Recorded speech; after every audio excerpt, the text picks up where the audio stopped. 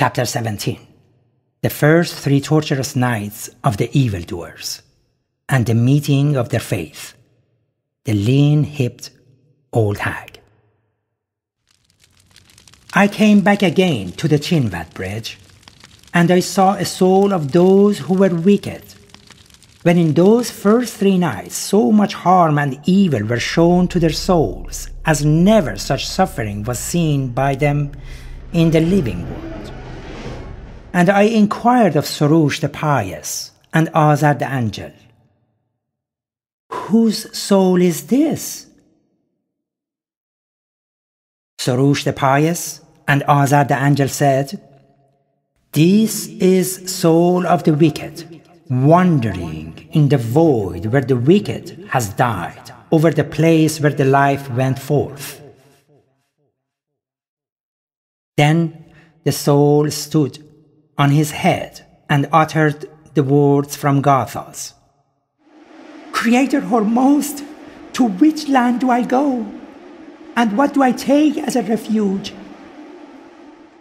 But then a stinking cold wind comes to meet him from the northern quarter, from the quarter of the demons. A more reeking wind than he had ever sensed as he was alive.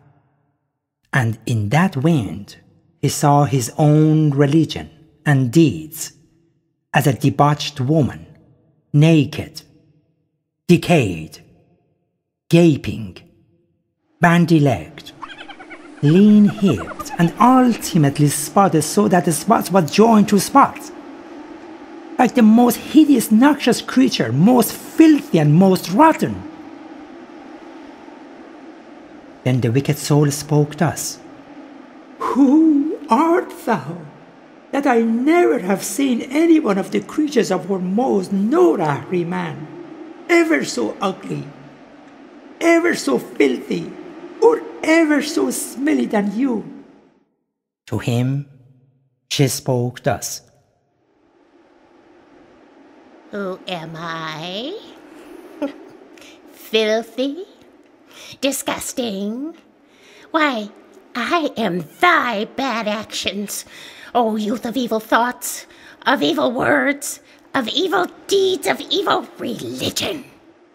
It is on account of thy will and actions that I am hideous and vile, wicked and diseased, rotten and foul smelling, unfortunate and distressed, as appears to thee. When thou sawest anyone who performed the Yajish and Dron ceremonies, and praised and prayed and served God, and preserved and protected water and fire, and watched over the kettle and trees and other good creations, thou practiced the will of Ahriman and the demons and evil actions. And when thou sawest one who provided hospitable reception and gave us something deservedly in gifts and charity to those travelers who came from afar and those who were from near, thou wast greedy and shuttest up thy door. As she spoke, a northern wind blew and the last yellow leaf fell from the branch of a dead tree, and the owl who was sitting on a branch flew off. The snake bowed to her, and the lizard bounced off from her cane and ran toward the evil soul.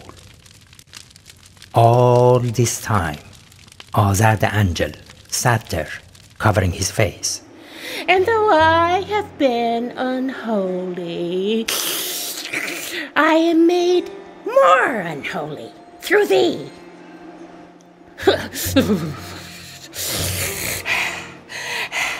and though I have been frightful, I am made more frightful through thee. Though I have been naughty, oh baby, baby, I am made naughtier through thee. Though I am settled in the northern quarter,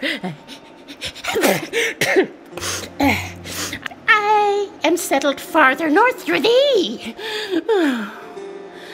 I am complete through those evil thoughts mm-hmm, and through those evil words. and through those evil deeds which thou practiced.